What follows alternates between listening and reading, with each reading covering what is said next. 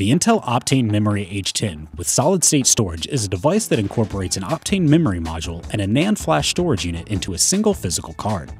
These two independent devices need to be enabled in Windows in order to obtain the maximum performance. You can check that your Optane Memory H10 is enabled by doing this.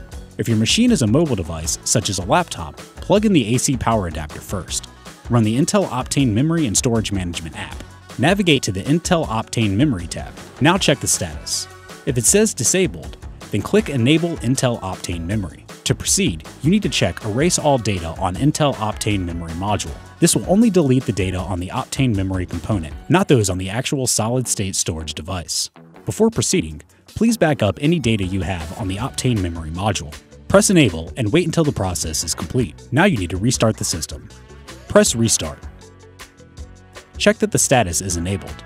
When you need to remove your Intel Optane Memory H10 from your machine, you must disable it first. Intel recommends disabling the device in order to avoid any data loss.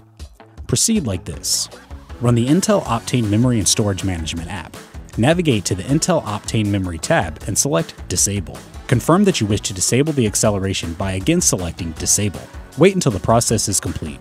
Once complete, select Restart after the system has restarted, you can power it off and safely remove the Intel Optane Memory H10.